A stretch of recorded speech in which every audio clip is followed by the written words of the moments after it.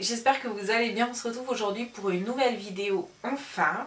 Euh, ça va être une vidéo make-up.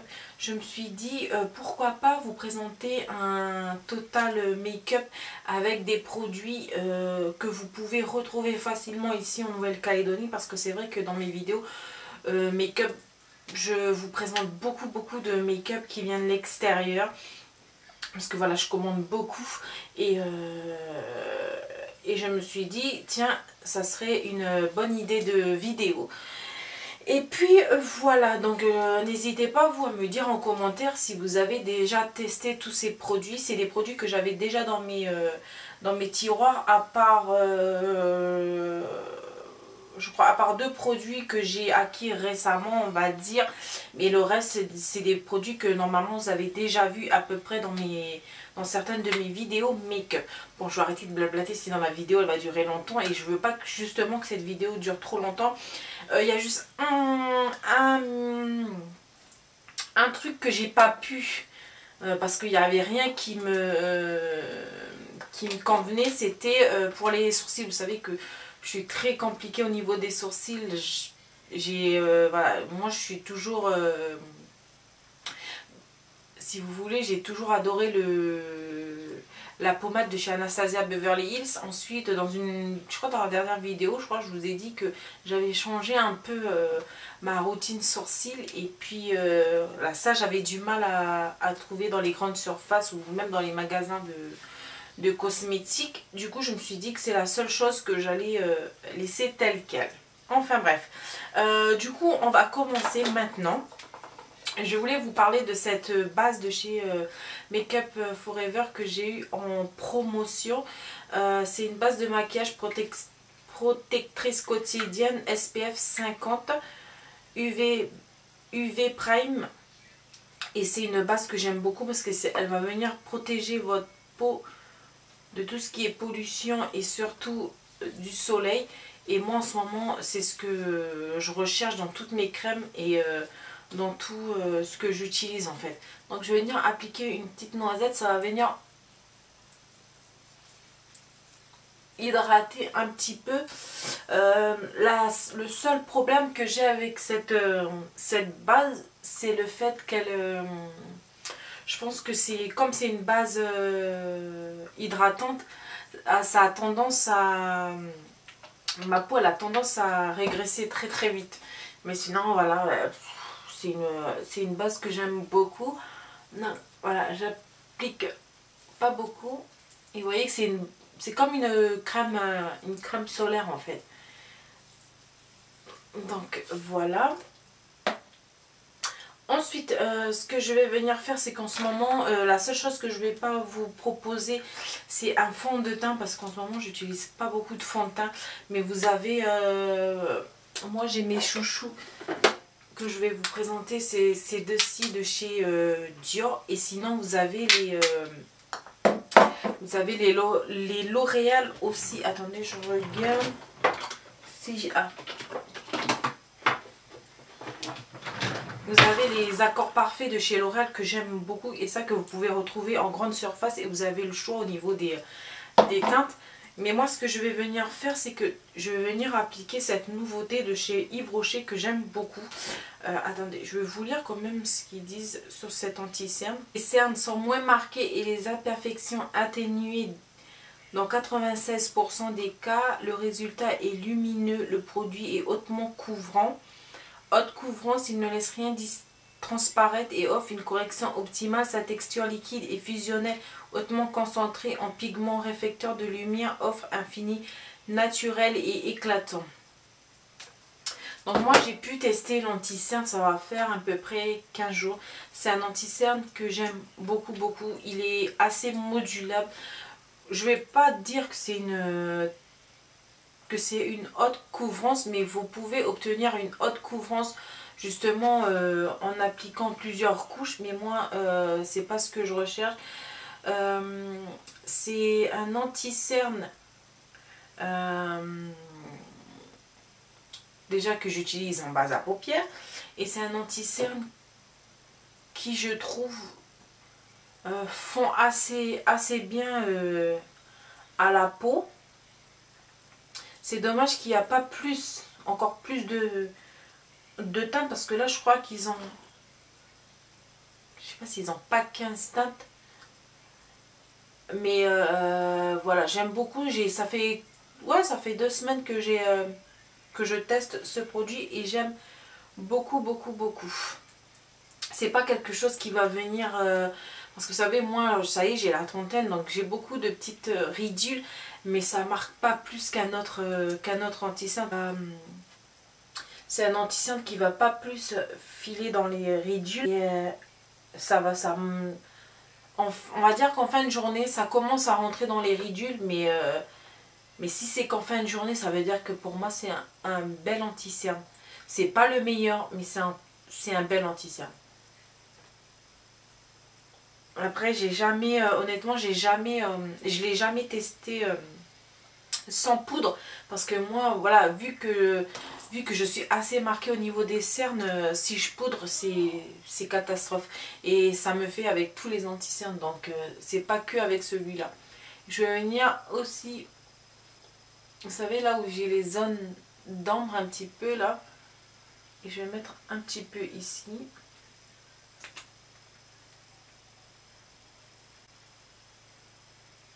Et euh, ça a très bien ça a très bien tenu avec mes fards à paupières parce que je l'utilisais aussi en tant que en tant que base à paupières et ça a très bien tenu. Je vais utiliser une poudre de chez euh, Yves Rocher aussi que j'aime beaucoup mais là je vais pas venir poudrer mon, anti je vais juste poudrer le reste de mon visage et ça je vais venir faire avec un pinceau comme ça un peu euh, un peu euh, non pas biseauté qui part en pointe assez fluffy et je vais venir appliquer ma poudre avec ça. Et moi ce que je fais les filles c'est que avant je faisais toujours des gros mouvements euh, circulaires mais maintenant non. Je tapote en fait la poudre.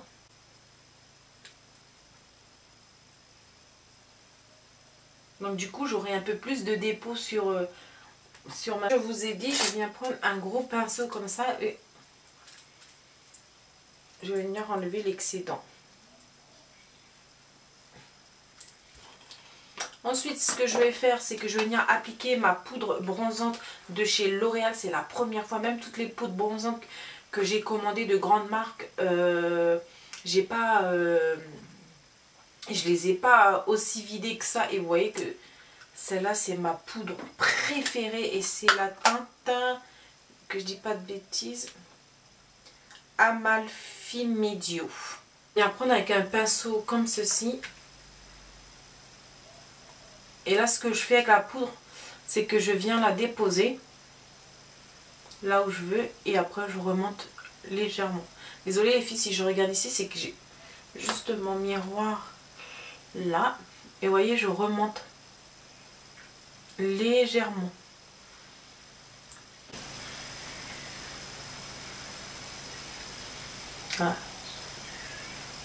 Déjà rien qu'en mettant de la, de la poudre bronzante, c'est déjà mieux.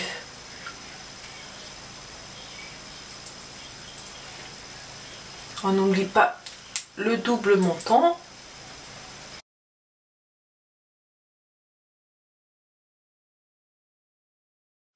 Donc euh, j'aime beaucoup les blushs de chez euh, Maybelline, surtout cette gamme là vous avez euh, trois... Attendez. Vous avez trois blushs et un highlighter qui s'est cassé la gueule. Et j'aime beaucoup mélanger toutes ces teintes. Donc, c'est ce que je vais venir faire parce qu'en plus, c'est des poudres qui ont un côté un peu glowy, on va dire. Et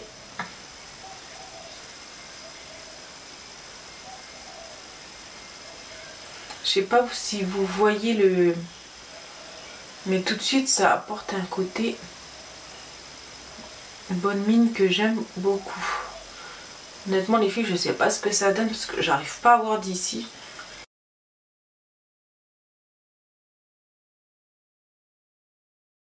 Mon gros pinceau fluffy et je venir estamper et mélanger le bronzer et le et le, le fard à joues. faire mes sourcils... Euh, je crois que je vous ai déjà parlé de cette, euh, de cette technique. C'est ma technique. Je ne sais pas si elle est bonne ou mauvaise, mais moi, j'aime beaucoup. En fait, je vais venir appliquer mon fixateur de sourcils de la marque euh, de chez MAC en teinte transparente, là. Et je vais venir appliquer. Je brosse un coup comme ça et ensuite je reviens les positionner comme ça. Et je fais que sur un. Ensuite je viens prendre mon pinceau euh, biseauté et je vais venir avec cette palette. C'est une vieille palette c'est ma première palette de, maquillage. Et euh, je vais venir appliquer cette teinte ci juste venir euh, vous voyez combler le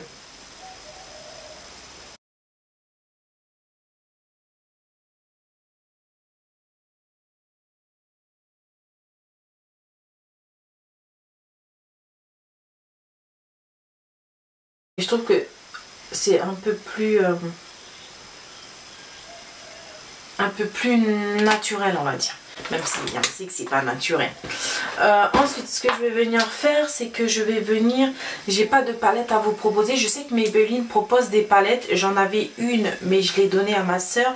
Mais je sais qu'ils proposent de très jolies palettes et j'avais déjà testé la Nude, je crois, elle était très bien.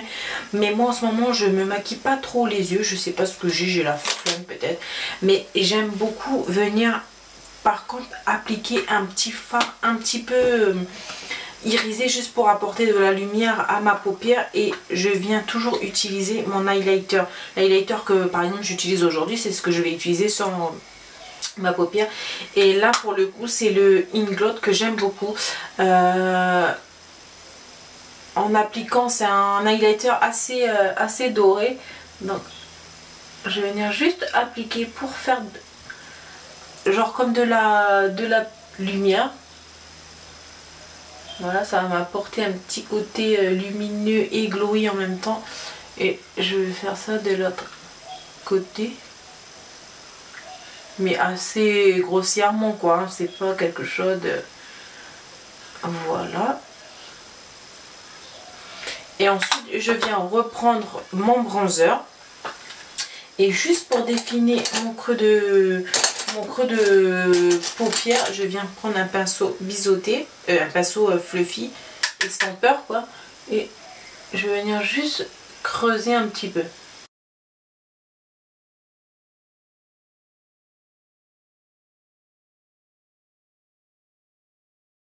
Chouchou en ce moment, il a, il a battu le volume de chez Chanel, il a battu tous les mascaras, mais celui-là, au début, je l'ai pas... Enfin, si, il était bien, mais c'était pas plus que ça.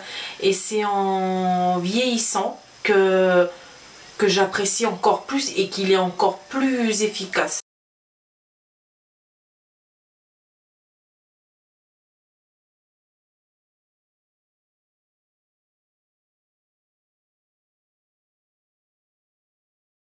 Là, vous allez voir la différence entre cet œil et cet œil.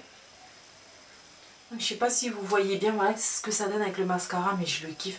Par contre euh, en ce moment je ne mets pas de mascara euh, sur les cils inférieurs. Je sais pas en ce moment j'aime bien laisser comme ça donc voilà ce que ça donne. Et vous voyez que le... Je sais pas si vous voyez bien d'ici mais le rendu du... Je vais prendre mon miroir.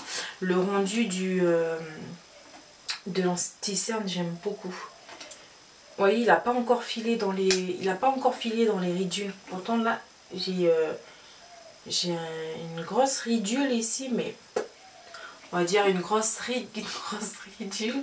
Beaucoup, beaucoup. Et ça marque pas trop, c'est très discret. Après, c'est pour ça que je vous dis que moi, je pense plutôt que c'est une couvrance euh, modulable. On va dire euh, moyenne à forte qu'une totale couvrance. Mais c'est un très très très bel anti-cerne et pour le prix j'ai envie de vous dire, euh, on va pas se priver. Hein. Je vais venir euh, fixer mon make-up avec euh, le Superfix spray fixateur de, de maquillage anti-pollution à l'eau florale de rose de chez Adopt que j'aime beaucoup.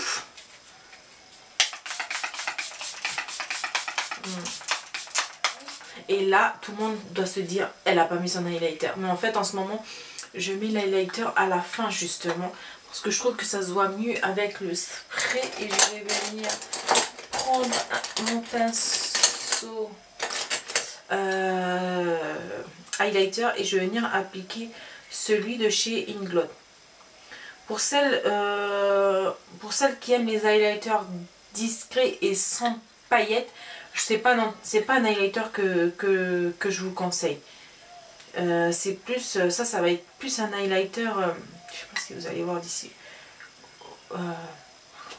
voilà, c'est assez, moi je trouve qu'il est assez claquant. Hein. Donc, mais voilà, je l'aime beaucoup. Donc je vais venir l'appliquer comme ceci en remontant jusqu'ici.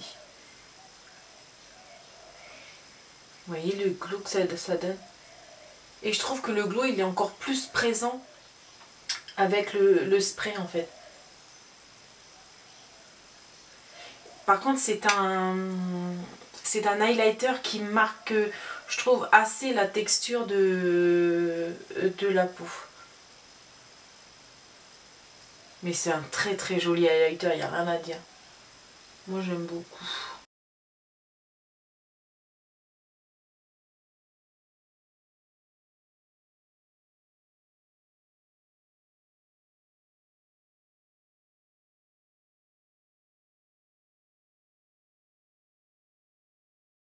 Lèvres. Donc les lèvres, en ce moment, je suis euh, beaucoup nude. En ce moment, je sais pas pourquoi. Et euh, je recherche beaucoup aussi les euh, rouges à lèvres. Je suis plus dans les rouges à lèvres, vous voyez, comme ceci, que dans les rouges à lèvres liquides mat. Je sais pas ce que j'ai en ce moment. Donc, ce que je vais venir faire, c'est mon combo préféré du moment. Et ça se voit parce que je l'ai bien défoncé. Celui-là, c'est un de chez,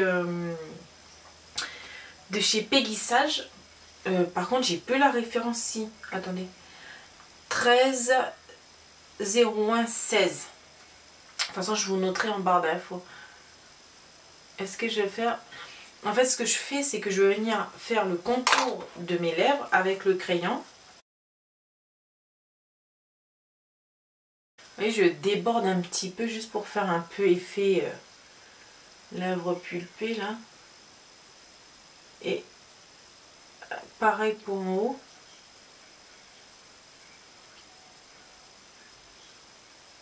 Et ensuite, je colorie les, euh, les en fait.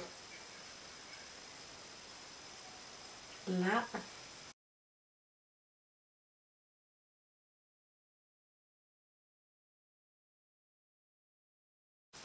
Voilà, et ensuite je vais venir appliquer un rouge à lèvres de chez MAC, c'est le Crème Cheese Crème Cup qui est un peu plus clair que mes lèvres et je vais venir appliquer juste à l'intérieur.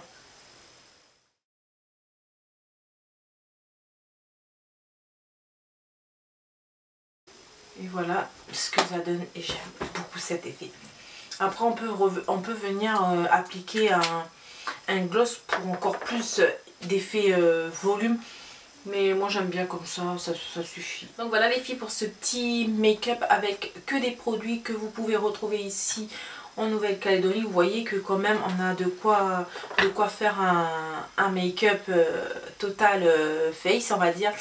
Euh, tout ce que je vous ai présenté, je vous mettrai en barre d'infos, même les liens où vous pouvez les acheter. Et tout ce que je vous ai présenté dans cette vidéo, c'est que des produits que j'aime. Euh, là récemment j'ai découvert le nouvel anti-cerne de, chez Yves Rocher. Je crois il a 1500 et je crois même qu'il est en promotion. Je suis pas très sûre à moins que la promotion elle est terminée. Mais je sais qu'elle était en pro qu'il était en promotion. Et euh, voilà, une très belle découverte pour l'anti-cerne, comme je vous ai dit. Par contre, je n'ai jamais testé l'anti-cerne poudré parce que vous savez que, voilà, comme je vous dis, mon contour des yeux, c'est pas la peine. Peu importe l'anti-cerne, euh, je ne poudre jamais parce qu'après, ça devient trop cakey, trop sec pour moi. Euh, mais sinon, c'est un très bel anti-cerne. Et la base aussi de chez Makeup Forever pour celles qui qui fait très attention à leur peau par rapport au soleil, je vous conseille, euh, je vous conseille cette base. Peut-être pas pour les peaux grasses, mais les peaux sèches mixtes. je vous conseille, vous voyez, moi j'ai la peau mixte, parfois à grasse, j'utilise sans problème. Euh, mais voilà, euh, je pense qu'on a tendance à briller un peu plus que d'habitude en mettant cette, cette base, mais rien de, rien de méchant. Après, voilà, ça dépend toujours de chacun, de comment la peau elle réagit avec les produits. Et sinon, tout le reste, je pense que vous avez déjà vu au moins une fois dans, dans mes vidéos. Donc voilà les filles, donc j'espère que cette vidéo vous aura plu. N'hésitez pas vous à me mettre en commentaire si vous avez déjà testé certains de ces produits. Et puis voilà, donc n'hésitez pas à vous abonner à ma chaîne si ce n'est pas déjà fait, à la liker. Et puis on se retrouve dans une prochaine vidéo. Ciao